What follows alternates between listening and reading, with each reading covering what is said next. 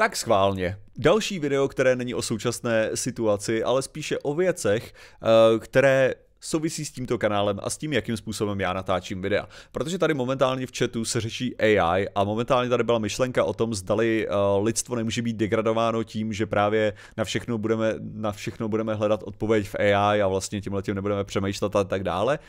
Já si to nemyslím. A ten důvod je, pro jakým způsobem já dělám videa. A ten, co tím chci říct? A když se budete koukat na moje videa, tak jistě, pokud rozumíte některý z těch tématů, o kterých já hovořím, tak jste narazili na to, že v podstatě říkám nějakou totální blbost občas. A tím myslím jako blbosti, blbosti typu jednak samozřejmě se stane, že něčemu nerozumím, myslím si, že tomu rozumím, což je bohužel, bohužel jsem idiot, a jelikož tomu nerozumím, tak nevím v tu chvíli, že tomu nerozumím pořádně a myslím si, že tomu nerozumím, protože jsem idiot. Prostě jak se to stává. Ale co, co se stává podle mě mnohem častěji, tak jsou takové ty případy, kdy já řeknu, to se dělá ve Švédsku a ono se to dělá v Norsku. Nebo že řeknu, Uh, tam byly ty dva státy vedle sebe a hledám je úplně jinde, než skutečně by měly být na mapě. Nebo řeknu, tenhle ten kanon měl 88 mm a zjistím, že měl prostě 100 mm. To jsou, to jsou věci, které se, se stávají docela často. Že já znám obecně jako obecně tak nějak zhruba, kde je ta správná odpověď, zhruba mám ten směr, ale následně neznám ten přesný detail a když se snažím říct ten přesný detail, tak ho řeknu blbě.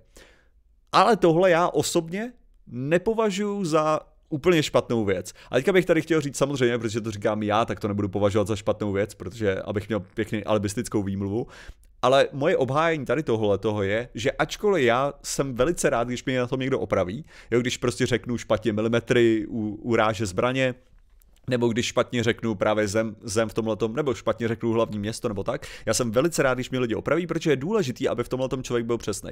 Já jsem absolutně trvám na tom, že je velice dobrý, aby člověk byl v těchto těch věcech přesný, i když já nejsem. Myslím si, že je to lepší, je to lepší pro všechny, když člověk je přesný, už jenom kvůli tomu, že jako vypadá legitimněji s tímhle tím způsobem. Ovšem to, co já si myslím, že je velice důležitý obecně a co, co se snažím spíš předat, jsou vztahy mezi věcmi. Myslím si, že velice, velice, velice důležitá věc, jak rozumět světu, je ne nezbytně vědět, jakože hlavní město tohohle toho a tak, ale vědět, jaký jsou třeba aspoň nějaký základní vztahy mezi zeměmi. Jakože když budete vědět, aspoň jako v nějakém tom velkém, jakože jo, tyhle ty mají špatnou historii spolu, tyhle ty se nemají rádi, tyhle ty mají složitou politiku, tyhle ty se nebyli schopní dohodnout na tomhletom, samozřejmě velice, velice, velice, velice pomáhá, když třeba víte, kde ty jako země jsou na mapě. Protože vám to může zodpovědět mnoho otázek, proč mají třeba špatnou historii, že? protože tam může být nějaký konflikt na hranicích, kvůli tomu, že tam mají nějakou blbou taktickou hranici a tak dále.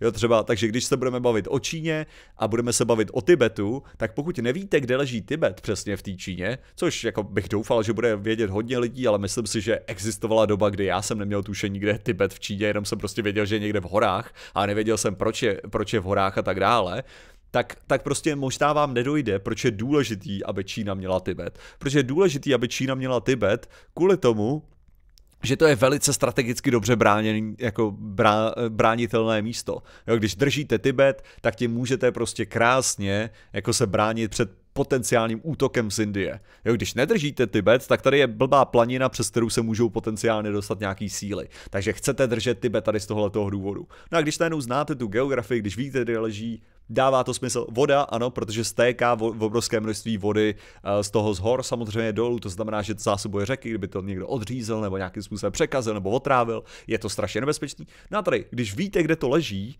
tak dává mnohem větší smysl, proč na tom záleží. Ovšem, Jo, někdy prostě stačí vědět, že prostě, oh, OK, Tibet a Čína mají, mají ten konflikt, ale čím víc o tom víte, tím lepší máte představu. Proto říkám, že je důležité, abyste věděli jako věc, ale pokud máte aspoň základní představu, tak to kolikrát stačí. Aspoň jako pro základní představu. Takže uh, je rozhodně dobrý, když budeme mluvit o vztazích které mezi státy, abyste věděli, kde přesně leží, ale občas prostě nebudete vědět. Dobrý je, že aspoň víte, že prostě existují že tam jsou. To samý právě platí, to samý právě platí ohledně toho, ohledně, když budeme mluvit třeba právě o těch zbraních, protože na tohle je, na jsou hodně citliví lidi, kteří, kteří se zajímají o military, jako military věci, prostě o, o armádu a tak dále, vojenskou techniku a tak, tak jsou hodně citliví přesně takový ty detaily, jako kolik má milimetrů tahle ta zbraň, jakým způsobem střílí a kolik nábojů je v zásobníku a jestli, jestli to střílo automaticky takhle a nestřílo automaticky takhle a tak, což jsou důležité věci, když se tím zabýváte, jsou velice důležité věci, když se tím zabýváte. Ovšem, v případě, když já třeba chci mluvit o, já nevím, protiletadlovém kanónu nějakým a budu říkat, že tohle je 12,7 mm, což je prostě 50 cal, a že to, OK, tak to není schopný prorazit prostě Uh, že to není, já jsem říct, že to je prostě 12 mm a že to není schopný pořádně prorazit prostě A10 tu, tu titanovou vanu. No a řeknu prostě 12 mm, i když je to 12,7, tak jako, hele, OK, netrefil jsem přesně ty milimetry v tu chvíli, neřekl jsem to přesně, jo, ale ten argument je furt platný, rozumíme si, o co tam jde, je to prostě, nemá to dost síly na to, aby to prorazilo tuhle tu věc, to je, to je ta realita toho, co to je, to je prostě to, na čem záleželo, nezáleželo na tom, nebylo to o tom, že jsem se sekl o prostě 30 mm kanon, že není schopný to prostřelit, protože v tu chvíli už na tom hodně záleží, to už je velký rozdíl v tomhle případě, ale když to hodím do toho úplného základu, tak to furt dává smysl, furt se jako rozumíme, kam to směřuje. Jo, protože ten, ten vztah je tam ta důležitá věc, že jo? je to schopný prorazit, není to schopný prorazit, jestli to uvedu přesně, není to, tak, není to tam v tu, chvíli, v tu chvíli tak silný. No a teďka se dostaneme, proč o tom mluvím v rámci, uh, v rámci toho argumentů kolem uh, chat GPT, uh, kolem tady tyhle umělé inteligence a ohledně toho, jestli to degraduje.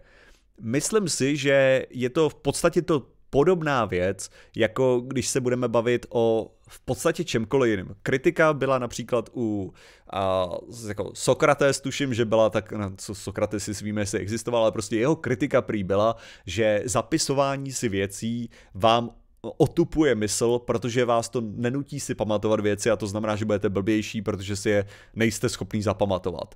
Takže prostě to, že umíte psát a že umíte číst, je v podstatě nevýhoda, protože o to budete blbější, protože si to budete zapisovat, budete na to moc spolíhat. Následně může takhle přecházet, že prostě když se psalo na, když se psalo na destičky, křídou, takže neumíte psát na destičky křídou, nebo jako později, když přišel papír, že co když vám dojde papír, tak budete v hajzlu. Teďka se to říká ohledně, ohledně baterek, před, když jste byli ve škole, tak to bylo o tom, že jako když já jsem byl ve škole, tak byl argument, že nebudete nosit u sebe vždycky kalkulačku, budete se muset naučit tyhle ty věci a teďka nosíme kalkulačku. Jsme blbější kvůli tomu, že nemáme tyhle ty kalkulačky, nejsme blbější, možná jenom prostě nejsme schopní tyhle ty věci počítat, ale jakož většina lidí počítala ty věci ne tím, že je skutečně spočítala, ale tím, že si v podstatě zapamatovali uh, tabulku násobení základního, tak možná to není úplně jako něco, co ve skutečnosti i fungovalo jako argument, že většina lidí skutečně neuměla počítat, i když vám řekli správnou odpověď na to, kolik je 7x7.